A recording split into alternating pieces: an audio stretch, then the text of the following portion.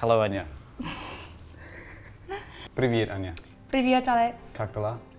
Хорошо. Очень? А ты? М, Не очень. Не очень? Да. Не, нет, ты отлично. Спасибо. А ты? Пожалуйста. А, да. Все хорошо сейчас. Вкусно, да? да. А, так. As you know, I don't speak Russian that great. I think you did well. Спасибо большое. Uh, well, sometimes, sometimes people kind of you know, go, oh, you do great, and then they go, can you say something else? I'm like, I don't know what to say. You're like, I only know that. I only know that. I only know that, and they go, okay, your Russian is terrible. You're learning. I'm learning. I'm learning. With everything that I want to do and everything that we've both done, you have such an interesting background with all of that. But let's begin from the very beginning. What happened? Where, did, where were you born, and when did you come here? Um, so I was born in, well, Novokuznetsk. It's uh, it's in Siberia, so Siberia, Russia. Um, and yeah, in 1996, I'm 24. I came to New Zealand on Christmas Day, so December 25th of 2001. 2001. And Yeah. do you have a few memories or Yeah, I do. I, of Russia? Yeah. It's always that feeling of like maybe it's a memory of a memory though. So I vaguely remember like the layout of the room. I remember my parents told me to like draw it up, so I did, and it ended up being exactly the same. Crazy. I know. Yeah. Um, and I I remember little things like going to bed and thinking that I had the only window next to my bed, and I did have that, or sharing like one toothbrush between many people, or sharing toys.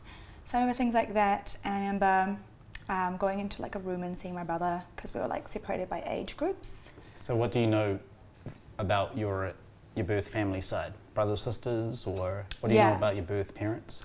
So, um, just first of all, I was adopted with my brother. We found out it's my half brother, Simeon. And then we found out later that I have, um, there's six of us in total. So I have four other siblings in Russia now. So one's a bit older, Maxime, and then the other three are all like full blood. Um, and they're a bit younger, around 19. Yeah. So it's good that you know those pieces Yeah. because a lot of you know a lot of adopted people don't know anything about their siblings, Yeah. and you so you've always known that from the beginning, have you, about your Um, siblings? No. So yeah, we only learnt about them when I found my family. So when I was like ten. So later so- on, later on when you got a bit older. Yeah. Yeah, and Yeah. so here in New Zealand, when you first came here, was it was it were your parents very open about your adoption, um, Russian culture in the family, Mm. or how did that go about? I mean, I was five, so I already knew like everything. I could remember everything, um, and I think they gave me the option to keep learning Russian, but there's just no one here in New Zealand that I could like speak with. So I just said, "What's the point?" So I just kind of felt like I just wanted to fit in, Mm. um, and so I just dropped that. But it's not not to say that I dropped like the whole culture or anything. I remember my mum would make borscht sometimes. Um, That's nice. You love borscht. I do like borscht.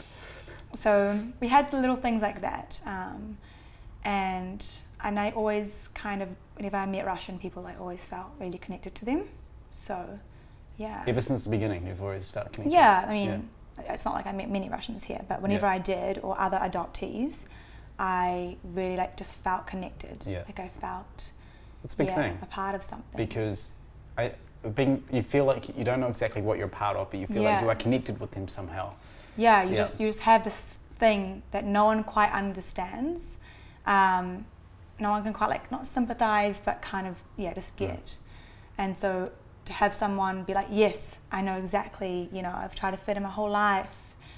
Um, it's pretty yeah. So I, I grew up with two other adoptees, really close. Like we're really close. So that was really nice. I think I was very lucky to have that. Yeah, Um, yeah, I think one of them was from where you're from as well. So it's good to relate with some other children your age growing up.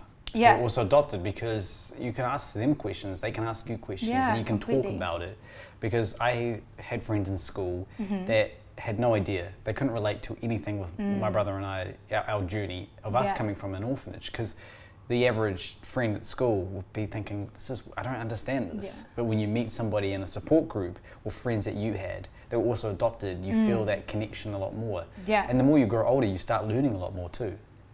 And you can kind of together put the pieces together. Like Yeah. yeah. One of my earliest memories when I was in New Zealand was actually just like going to bed and like kind of crying actually, and you just kind of cry to, and ask um, like what happened to my mom and like what happened there and like how did I end up here. And I was very young, and I, my parents always said like, "Yeah, we'll try find the answers. We're going to try find out Support with you." your parents. So they, they were really open. Mm. There was it's not like a closed adoption or anything. I remembered they they they kind of encouraged that um, that whole journey to find my family, and they even said that they would like support it. So that was very special. It kind of was just fitting that my Mm. parents were like, yes, we'll we'll try our best. Because it also made me feel more connected to them because it's like they're not trying to hide anything. So we got a private investigator, and I didn't really follow the journey of like him and what he did Mm. at the time. I was just more interested in the results. So um, the first known result was around like 2009, 2010. Um, and we received photographs of like Russia first, and then later we found my mum, and we found out that she had other um, other children, so other siblings for us. Um, and then with that, like we sent a photo over to her of us and a letter, which we translated, and she sent it back. So with all these photos of her and the, all her other children. So I think when that happened, it kind of hit how real everything was. Like, I do have family there. I am like, I'm Russian. Um, I already knew it, but obviously I grew up here. So when I found some like evidence, it kind of sparked this thing like I have to meet them. I have to go back and I have to do this I journey. must. Yeah, exactly. And my parents like they completely encouraged that. And you, you didn't have anything in your back of your head thinking, should I be doing this? I Hmm. don't know if I should be doing this. No, I think the question was always like, what happened to them, Yeah. and what, like, what can I do, um, and knowing the story, and then when I found out there's a possibility to know them and to meet them, I think that just pushed me further. you yeah. Just, you just want to know. Yeah, and I kind of owned it as well. Like I was like, with anybody that was close to me, I'd say I've actually, I'm adopted. I'm like, I've actually found my family, and it's, it became part of like, I guess part of my identity as well. I could say more about who I was. Well, you're not, you're not, you're not hiding it. You know. Yeah. So what did happen after you found them? Um, I think after we found them, it was kind of like a whirlwind of emotions. Like, um, and we started planning for our trip to go back. Um, so we saved it a few years, um, and then I went. We went as a family when I was 16, so it's like six years after we found out. And um, and yeah, so that's that was a trip when I was 16. I went like in the middle of school, and we went back, and there's just so much to cover for that one. Man, that would be a big story in Yeah, itself. I know. Well, let's let's narrow it down a little Yeah. bit. so, what was it like getting back to Russia?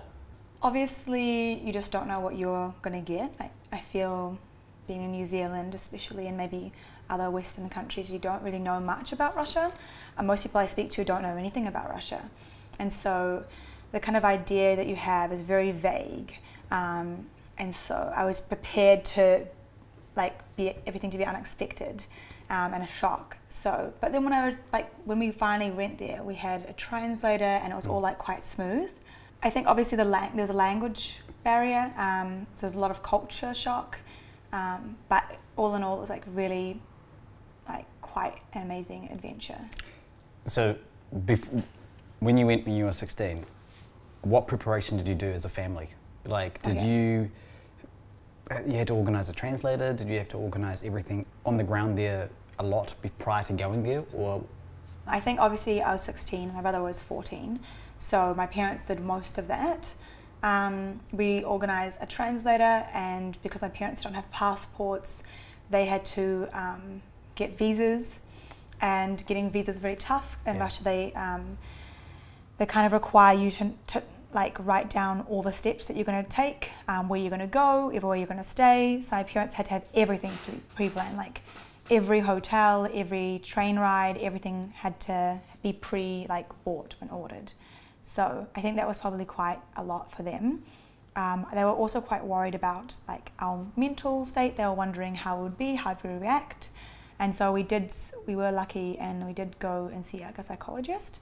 Um, and I kind of realized that there was nothing there was nothing there. I wasn't scared. I was actually really excited, um, and I was ready. Um, you felt like you were yeah, ready. I was. I felt like I was ready, and there was probably no need for um, me. So, yeah, I think there was a lot to do, but obviously I didn't really have to. I just had to mentally prepare for that. I guess the big thing is for a lot of people that want to go and search for families, it's always the fear of the unknown. Mm. And I guess you were, you were saying you were very excited, so you were ready to go. You know, you mm. could have gone the next day. Is that right? To be fair, Yeah, all those questions I'd had my whole life since I was adopted. I already had those questions and I already had those doubts and worries. And then when I found them when I was 10, that's six years before I even left. Yeah. So I had six years of, you know, these kind of like thoughts and worries and fears. By the time it was actually happening, I was excited. Um, but it doesn't, yeah, it didn't come with its own it's a lot of time. to- problems. yeah. Yeah. But I also had those photos. You know, I had something kind of propelling me forward. Um, I knew what my family looked like, my birth family looked like, and I knew, you know, there was something to go there for. And so, yes, six years is probably wondering a lot. But I guess by the time I we were ready to go, I probably was quite ready. Yeah. It's a lot of, um, I guess, building up to when you're ready to go. Yeah. I, I can't ex- I can't speak for every person that wants to find families or Mm. people that want to go because it is different. Um, some people get put off if they hear, hear some bad news about their birth parents Yeah. and they don't want to go. Yeah. And I've come across many of those situations, and I just always I always say to myself, you give yourself your own time, and when you feel like you're ready to go, you're Yeah. ready to go, whether you want to connect or not. So you, being when you were 16, so you got to Russia, and so who did you meet first when you got to Russia? Um, it was kind of like an interesting story actually. We nearly didn't even meet our mum when we first went. Um, the whole plan was we told her when we were coming. I don't know if it was our translator or the person who went and found them originally, but they she like knew that we were arriving, and she was away. She was at a dacha, which is a holiday home. um, and so she was at a friend's dacha, and so she got the dates mixed up. And so we thought when we were there that she was avoiding us because she wasn't replying, but they just didn't have reception. So I think during that time it was extremely stressful because Mm. we came all this way and we just didn't hear. There was radio silence, and our translator was trying to call her every day, and we were there for like a week or two. Uh, so it was really stressful. Um, so we thought we were meeting her first, but we decided to go um, back out to the orphanage and see Galena, which is um. So I have an older brother Maxime, and Galena's his like grandma from his dad's okay. side. But um, so we met her and we met the older his like Maxime's dad and Maxime, um, and that was really amazing experience. So they were the first people like I, we actually fully met in Russia um, that had like blood a blood relation to us. Um, and Maxime, he's a bit older. He's six years older, so I think it was quite like a shock for him. Yeah. Um, but later we found out that he had named me, and he like he definitely knew about me. So he named you. yeah. So Crazy. my mum had asked him because he's older. She had asked like, "What should I name her?" And then he's like, "Anya," or Anna. So yeah, so it was really lovely to meet him, obviously, and um, we went to the orphanage after that. Um, so everything happened quickly. It was like within one or two days, um, and we found out at the orphanage that my siblings, the younger ones, had um, had been in there for about a year and a bit, and we hadn't known that from our mother. So Right. Yeah. so basically, we thought that they were with her, and she had lost her parenting rights within that time frame that we first messaged her when I was ten and sixteen, and yeah, when I was sixteen. So within that time, she didn't let us know, and I th- like think it was embarrassment um, and. Ashamed. Yeah, Yeah. shame and embarrassment, and I feel like I completely understand where she came from, but obviously it was a shock when you get there and then learn that. Mm. But when you're there, you can't really change anything. You just have to deal with it. Um, and it turns out they were in the same orphanage as we were in, so we were kind of going back and hitting two birds with one stone. Not really, Re- but you're reconnecting Yeah. along the way. yeah, Yeah. Yeah. it's like they were in the same orphanage that I was. I remember my earliest years in, and we weren't allowed to actually meet them. Um, they were like they kind of consider us as strangers, and there's like laws in Russia where you can't just Mm. walk in and meet people. but um, our translator he pushed for that and said that we are blood relatives and so on. So explain the whole situation. yeah, right? it took Yeah, a while, a few hours, I think, and we were sitting this um, in the office with him. Um, and during that time, I got to meet some of the other kids that I actually um, were in like the same age group as me. So we had photos of them, and um, they they showed us like all these photos when I was five, and these boys walked in, so they were still in that orphanage um, and they and obviously adopt like adoption had kind of stopped. Overseas adoption stopped around like 2001. Yeah, So that's when we came to New Zealand. it's heartbreaking seeing. Yeah, Obviously, I would have been in their position if not. So, Yeah. but they were really excited, um, and that was really quite sweet. And then obviously, they let in um, our mamas. So my brother and I, we had mamas So- that looked after us. So explain mamas. Yeah. So they're caretakers in the Yeah. orphanage.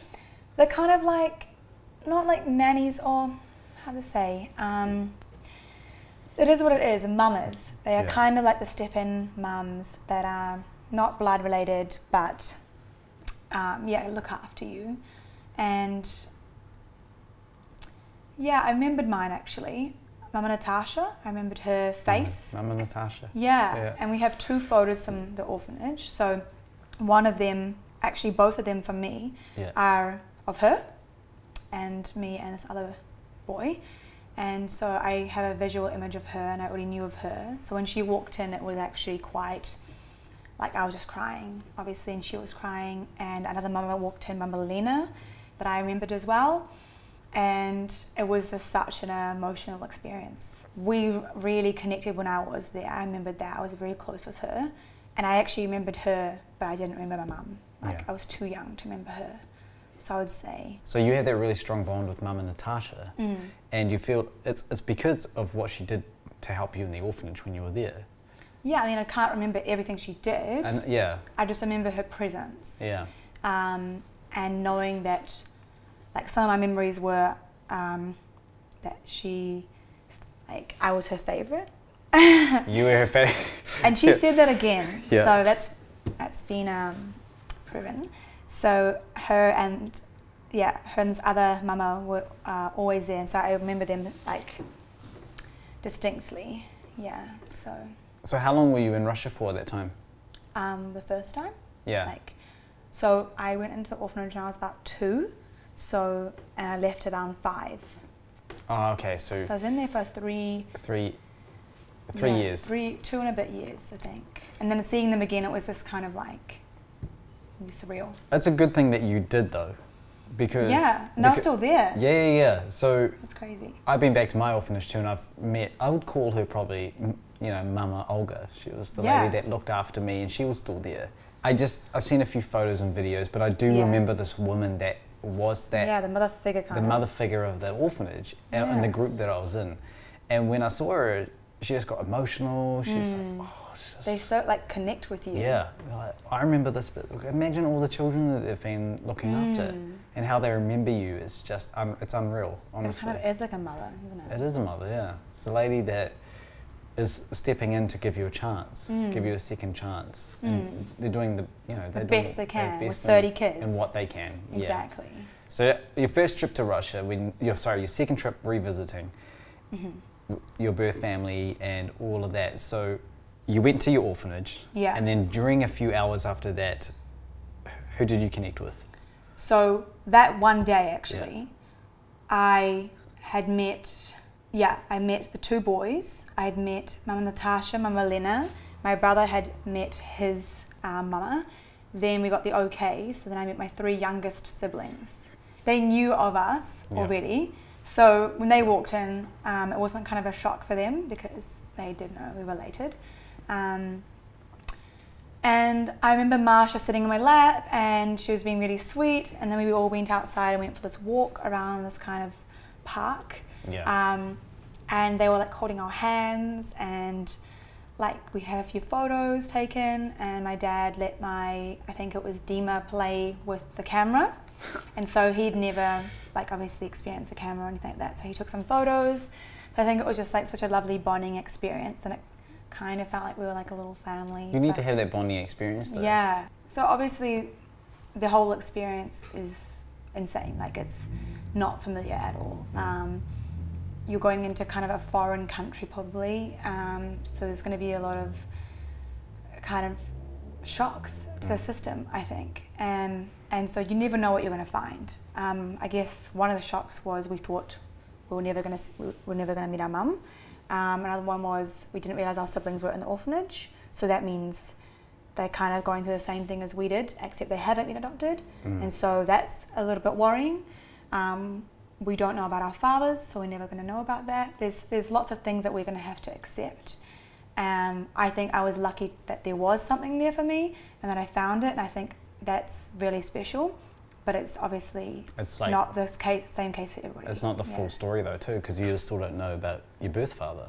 Yeah, so I'm, and I probably will never know that story. And when I first learnt that, which I think was, yeah, near the end of that trip and the second trip, um, I was resistant to that. I didn't, I like, I wasn't happy that I couldn't learn about that, and that she was reluctant to share that information. And you know, the story changed many times. I'd written down each time I'd seen her, and the story changed. So there's lots of things that I had to kind of overcome. Mm. Not glamorizing it, but um, Yeah. obviously there's this air of excitement at the same time. Like I'm fortunate enough that people are alive, and I can only make do with you know what information I do have, and so I'm just going to treasure the experience that I had. And with the information Yeah. that you know or the people you've met, Yeah, you stick with that. yeah, exactly. Because there's only so much, you, you can only do what you can. Exactly. So, yeah, and I think meeting my mum is a really interesting experience. A lot of people ask me about that. But I always just say it feels like meeting your aunt, Yeah. like a long lost aunt that you don't know, maybe you haven't ever met, or she met you when you were young. Um, and my mum was really like gracious. She like gifted flowers to my mum and thanked them. We had the translator, of course. Mm. Um, and she was very, from what I can tell, like Russian. Um, obviously, her like characteristics and everything. How she would like say, "Oh, wash your hands before we ate," or she'll kind of hold our hands and hold us close. And Yeah. we, we like went with that, but at the same time, I have to remember like we don't know her. Like I don't even remember her, and so it was a surreal experience, but also kind of vague. Like how do you respond to someone who cares about you so much, and you just don't quite know who this person is? It feels You know like a mean? stranger. It is a complete beginning. stranger. Yeah. But that's why I say like a long lost aunt, because it's like they care about you. But I remember one of the things as well is like how do your parents feel? And I remember looking back at my parents who were walking behind us and being like, I giving them a look, being like, "You are my family." Um, we've like I discussed with them earlier, like we're finding my mom my birth mom but I don't have anything. I'm not going to run off. Like, That's I it. feel like some parents feel like, oh, they're just going to go run off to their birth mom and they're going to connect with her. And not come back. Yeah, whereas there was like no connection kind Yeah. of thing. So, with your first revisit to Russia, revisiting part of your birth family, your siblings, and going back to the orphanage, what overall, what was that like when you left? Did you, how did you feel when you left? Yeah, I had a lot of questions answered, and you know, it had been years of like thinking and worrying and what had Mm. happened, and so obviously that put me at ease. Um, I think I was calmer, like inside. I had just done something for myself that was so so massive, and um, I was really proud of myself as well. Um, but also, I think as a family, we also like connected more. I remember before it, we'd like started learning Russian together, and then after, I like continued on to learn Russian, and I had promised my mum. I kind of said that I would come back um, and try learn some Russian, and so I did that for myself and her, but mainly for her. Mm.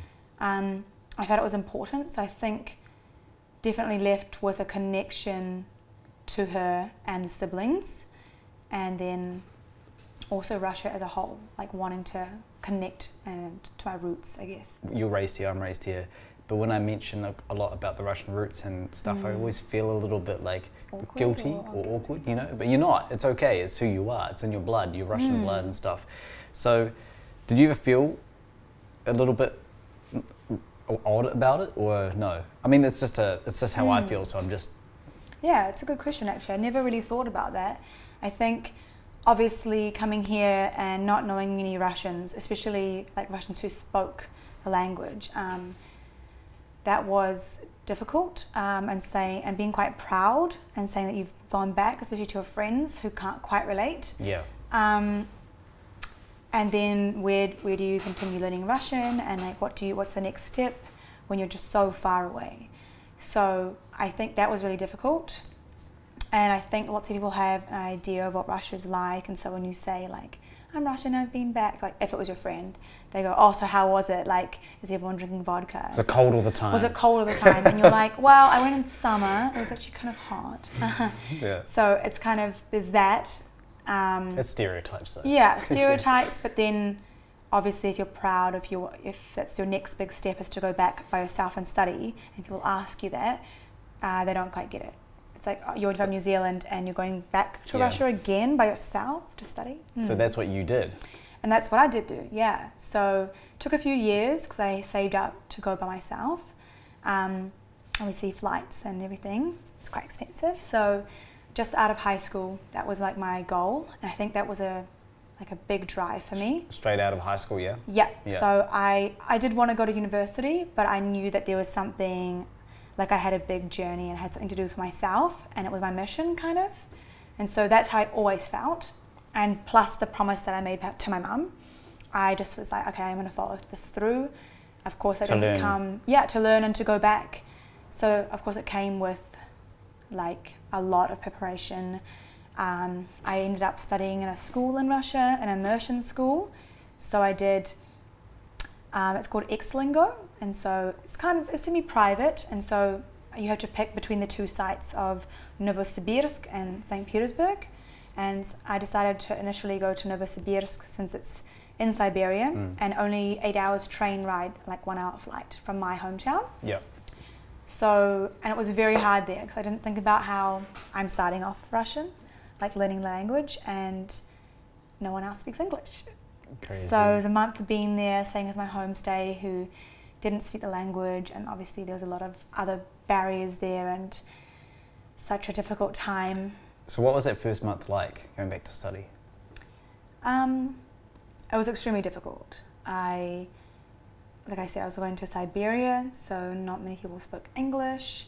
Um, I feel like there was at points that I was quite resentful or like maybe in denial of a situation, although that I'd gone and I decided to do this thing.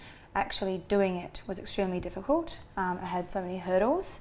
Even just overcoming going to the supermarket alone and trying to order something in Russian. I was embarrassed I would say something wrong or I, I would do something wrong in the customs because they had different things in supermarkets. We had to weigh things and I didn't know how to do that. There's just a lot of things like that that I just didn't want to overstep. Um, and so I remember not doing any of that stuff. I just kind of shut down. I just struggled with kind of getting out of there and trying to practice my Russian. I just wanted to be, I wanted to make sure I got it right. So when I was studying there, I was trying my best to like learn the grammar. And so I think the first month was extremely difficult. Um, and then it wasn't until I learned that I could do like a transfer halfway through to St. Petersburg that I thought, why don't I just change the scenery? Maybe it's just the place as well. I'm not like, I'm not inspired.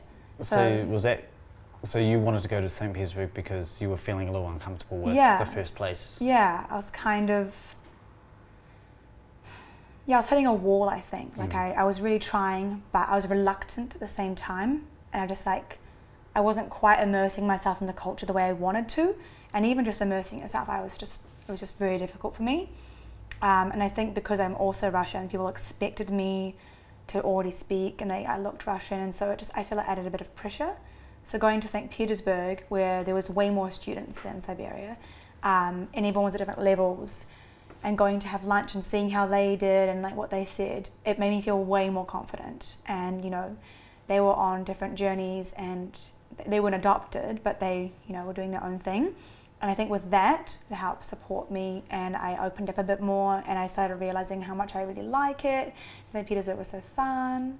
Nice place. So, so nice. So from there, when I went back to um, Novosibirsk, they they were like, "Wow, you're speaking now," because I was reluctant to speak. So I think that was like a challenge in itself. So what is so in St. Petersburg? You've got obviously it's also a lot of people do speak English there too. Exactly, so that helped. So that helped a lot too. Yeah. But you went to Russia to study the Russian language, Mm. and you know any regrets with that? I'm sure probably not, but Yeah, there must have been so many challenges and yeah, a roller coaster. yeah. Yeah. It was insane. Um, briefly, I mean, I lost my phone. No, I lost one, and I um, one was robbed, and one broke, and I lost my wallet, and so many things happened that made it really difficult um, to even just get by. Mm. um, let alone just trying to work out how to order something or, you know, go to school every day. Um, but I was living with a homestay, and in St. Petersburg, they did speak English, so they were just much more willing to help me. So I think it was very difficult, but in the end, I would no, no regrets. Yeah, It's worth it. yeah, 100%. Especially because if you want to do it, yeah. Just a whole lot of preparation. You must have had to really think about wanting to do that. And this isn't a bad thing or a good thing. This is just like, what advice would you give to somebody else, or what did you have to prepare for? Yeah, that's that's. Hmm. I think the fact that I'd already decided and I'd kind of made a promise to someone else, there's accountability there. Um, so externally, so I kind of thought, if I see my mum again, which I have, um, I want to be able to speak to her. I want to be able to speak to my siblings. So that was at the back of my mind. So it wasn't like I was doing it for me all the time. It was, of course, I wanted to connect, but more so I wanted to be able to speak. And then, of course, it's an adventure. So, how long were you in Russia for altogether? Um, so for that period, it was around three months. It's a long time. Yeah. Yeah. So there was that first month, then almost another month St. Petersburg, and then afterwards I was finishing up, and my parents came in, my brother and my parents, they flew over from New Zealand, um, and we all went as a family from Novosibirsk to, we did that little, it wasn't the Trans-Siberian, but it was another like um, train. So it was like overnight, eight hours. Mm. Um, so we ha- had that experience going on a Russian train. But yeah, so then when we arrived, we had another translator there, and um, I saw them for the second time. And this time it was their summer holiday, so we went to like the summer holiday dacha, and I could actually speak to them this time. We played a bit of football, and I, I felt like we really connected. This time it wasn't just through a translator, like it was one on one, Mm. or, and my brother couldn't speak Russian, but he was yeah he was like trying as well and i could translate a little bit and so That's good though. played, That you, it's good that you tennis. have that skill though. i wasn't fluent and I, Yeah. honestly it was probably like a few words like nothing compared to now um, but it was just something it was Yeah. just something that i felt like i could connect um, and then we saw my mum again and it was lovely too and yeah You went you went traveling with your family. after that They came and visited you in Russia Yeah. for about a week or so, yeah and then you went over, did some traveling, and then came back to Russia. Yeah. So, what did you get up to? Were you still studying, or what did you do yeah. next? So I just did another two more weeks of that um, immersion course, but in St. Petersburg this time. And I loved my host family, so I stayed with them again. Yeah. And then I, I had to get a few tests done, which were um, was quite invasive. To do to do what? Exactly. So I had to get the tests done because I decided prior to all this that I wanted to volunteer in the orphanage, um, and or, or just do something to give back. I think because it was my orphanage and because my siblings are there, it was more of a reason like to spend time with them and to try give back a little bit. So they already knew of me twice because I had been there a month before with my family, and so they knew through emails and calls that I was planning to do that, and they had uh, accepted that. But I had to get some tests done, and those tests were very like I remember having a few breakdowns because they were just very invasive. Uh, I had to get like psychology tests and a few other things done, and Like- obviously it was all in yeah. Russian. I didn't know, um, so obviously that was like really tough. But my um, host family really supported me through that, and whilst I was studying the, at that school, and then I flew over to um, Siberia again to my hometown, and I went in and had a meeting, and it was just me. There's no translators, um, with the yeah with the director of the orphanage, and it was just broken Russian, so it's probably really embarrassing. But obviously, I had improved over three months. The whole total, yeah. And then we just um, agreed on me like coming for four days each week um, for a total of two weeks. And f- during that time, I spent three hours with the um, very young kind of toddlers, Mm. um, which is insane because if you think about it, it's kind of like the roles were reversed. I was there when I was from three to Yeah. five, and I was looking after that same age group.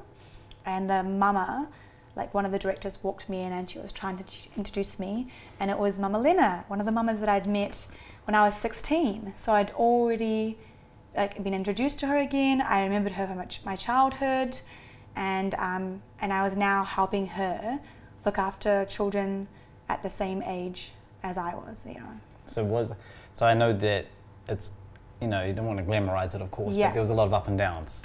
And Yeah. how did you? How long were you there altogether? So it was two weeks and it was eight days in total.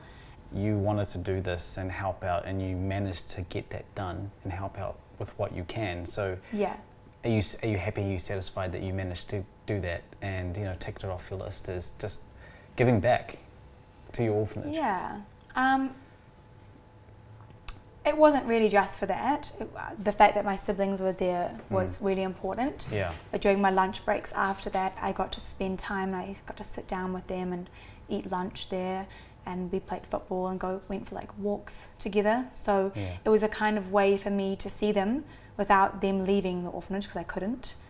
Um, so kind of coming into their area, um, and also trying to give back. And I also uh, tried to teach this girl how to speak English, but in Russian. So it was very difficult. It's a different, totally was- different. but with the only Russian that I knew. Yeah. hey, but it's good. So, so I think overall it was very like challenging. There was lots of different things, but it was more for, you know, trying to do something for them and also seeing my siblings again and uh, yeah, connect with them. Just everything you've done. I mean, everybody's got a different story, but this is like your one sake. Yeah.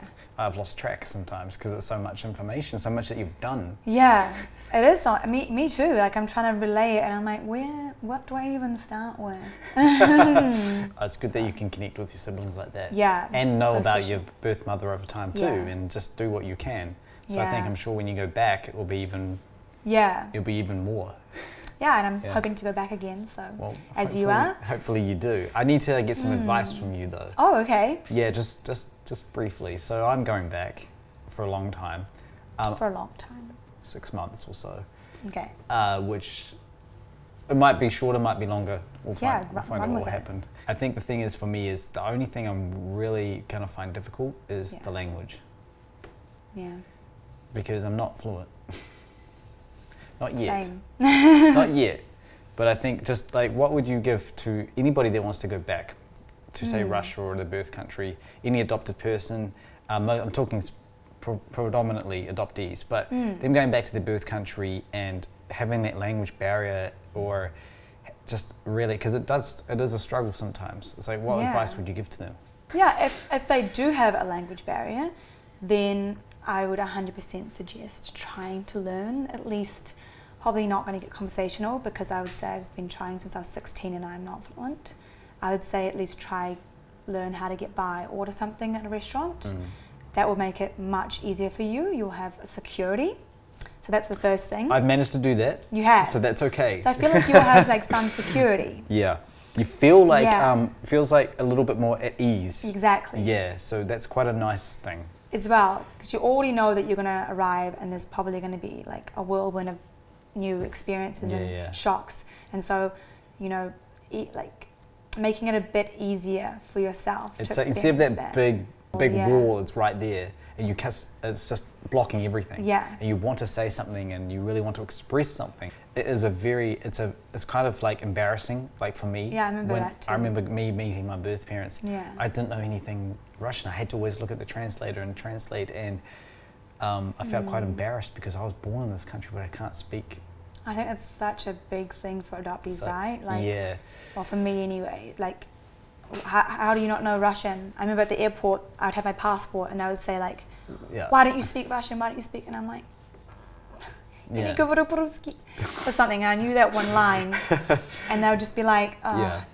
"I don't get you, but okay." But I, you, you've been studying. I've been studying, um, but I'm not. I haven't gone to an immersion school or anything like that. Yeah. But I've been around a lot of Russian speakers, and in Russia, I, when I stay with my birth father, I only speak Russian with him. Yeah. So it's very, it's very bad Russian. Just FYI, it's not. No, it's not. I've heard No, it. like like it's not.